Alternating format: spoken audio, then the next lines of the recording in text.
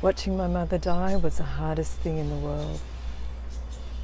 But sometimes I need help too. You can be a nurse for years, but it doesn't prepare you for the sight of seeing your mother in hospital in a glorified straitjacket, strapped to the bed, getting a case of the wonders. And she says to me, Well, actually, I say to her, What the hell are you in that for? And she looks at me like I'm the one who's lost my marbles. And then she says, Because I can't get out of it.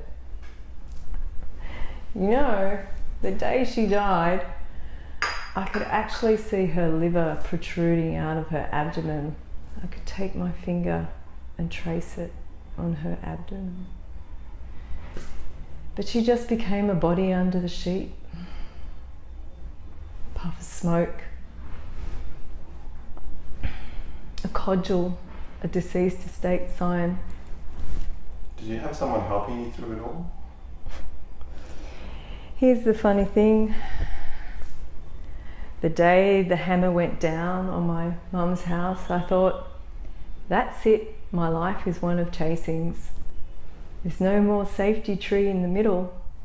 It's just me. You have here, Helen. You always have us, and we've got trees to burn.